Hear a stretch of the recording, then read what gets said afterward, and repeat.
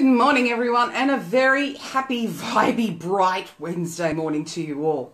It's uh, the day started out kind of a bit drizzly this morning. There was a cracker lightning storm earlier on, but that looks like it's passed and the sun's coming out, which is awesome.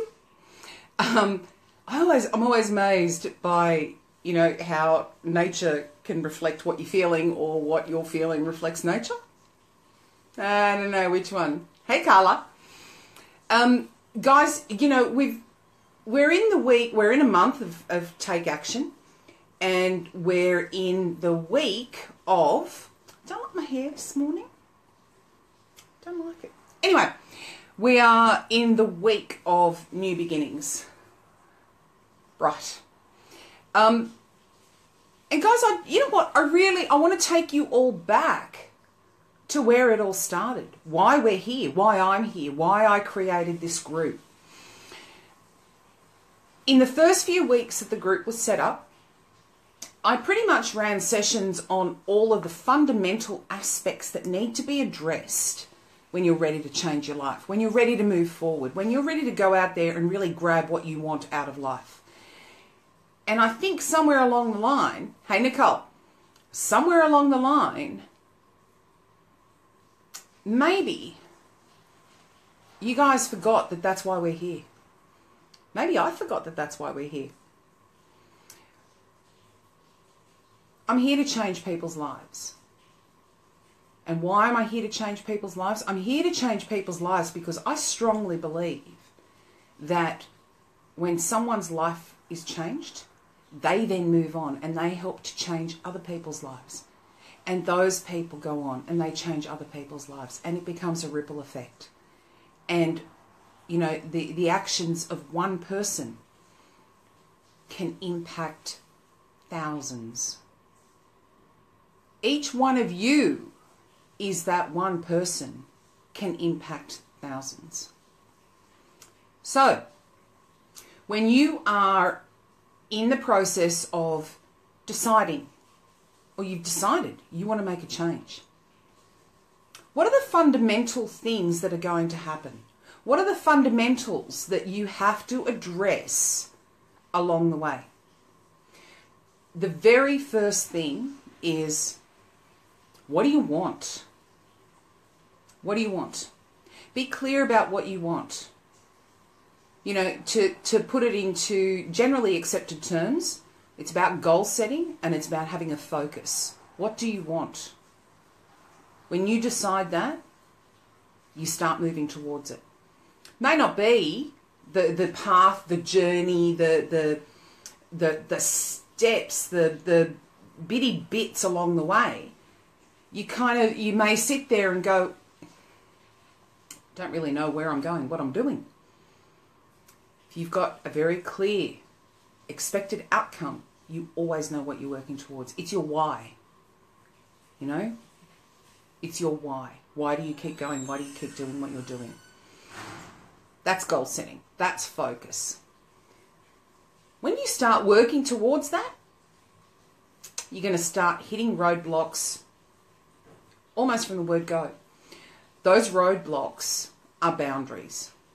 They're the boundaries that have been imposed on you there are boundaries that you have adopted, and there are boundaries that you've imposed on yourself. Limitations, your own limiting beliefs about what you're capable of. You don't knock those on the head, you're going to spin. You're going to be running around in circles. And how do you address those boundaries? It is about perception and perspective. If you can look at these things, remove the emotional fog, remove what you've always believed about something and look at it with fresh eyes. Look at it in a way that makes you go, hang on a sec, maybe I can look at this differently. Perspective. Perspective, perception. What's your perspective on something? How do you perceive something? And look at that. Now, this is not a step by step process. Okay, it's not. But these are generally, this is generally the way it goes. You set a goal, you decide what you want, you start coming across obstacles. You've got to look at those obstacles because what happens next is that starts attacking your self esteem, your confidence.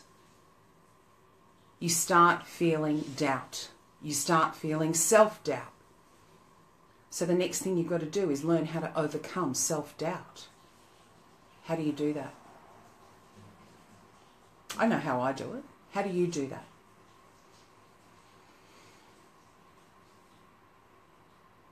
And then you start going into that.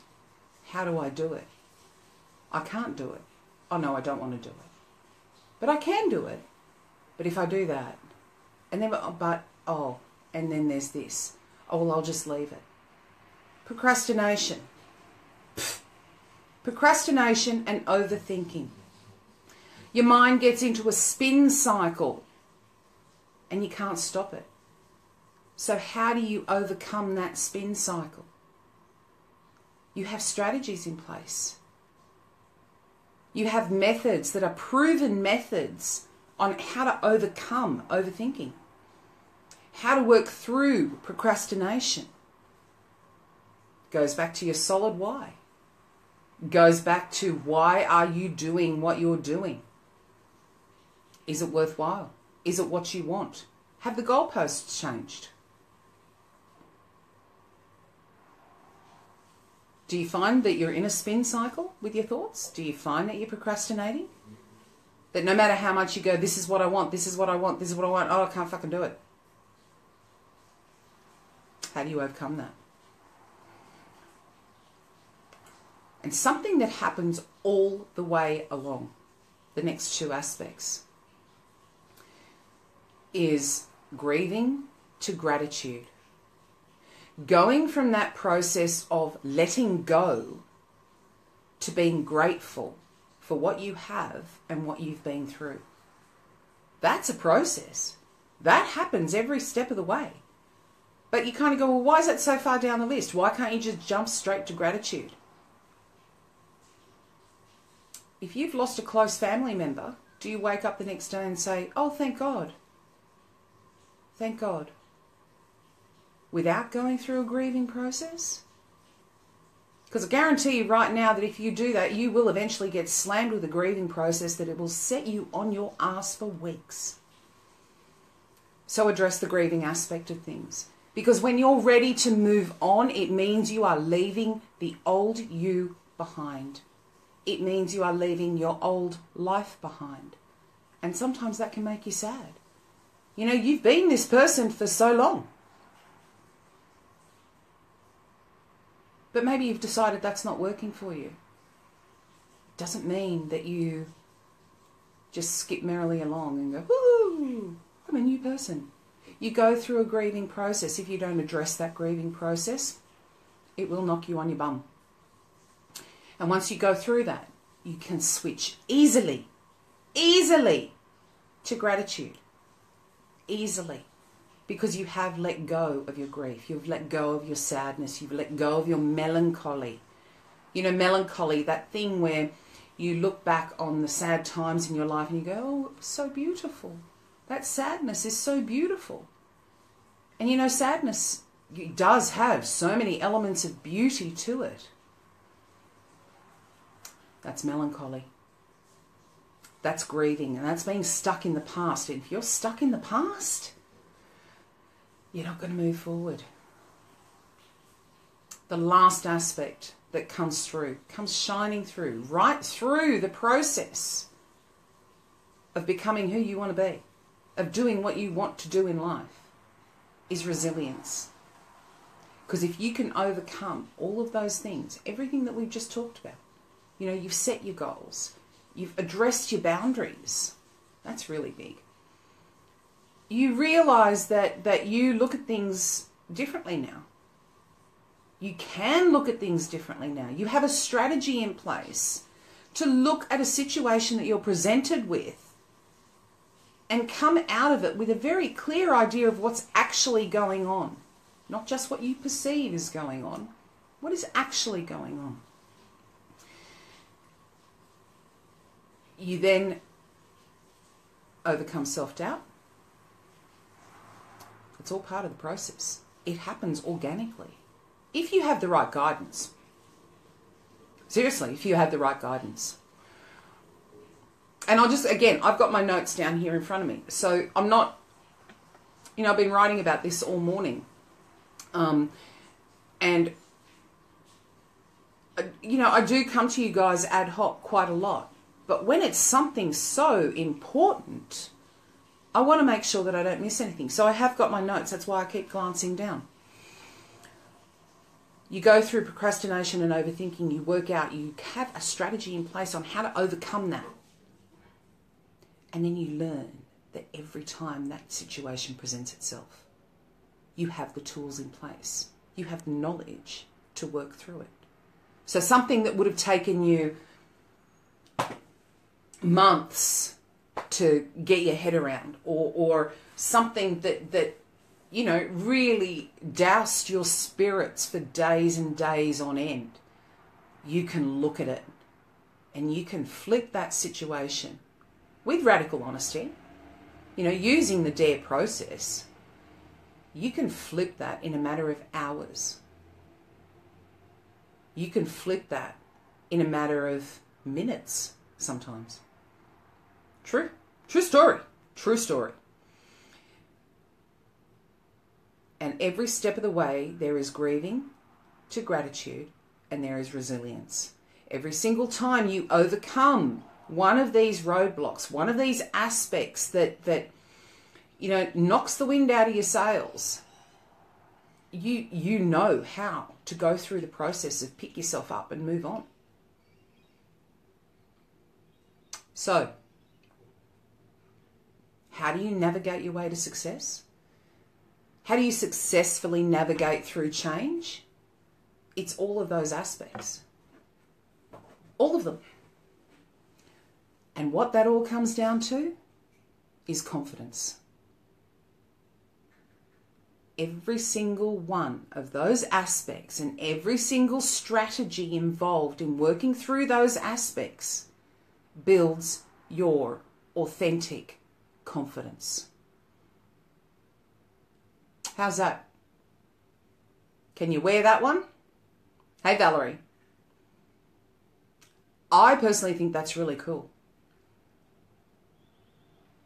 To consider that every situation that crosses your path is an opportunity for you to build your confidence, to get up and move forward with more information, with more strength, with more strategies, with more information than you've ever had before. Confidence.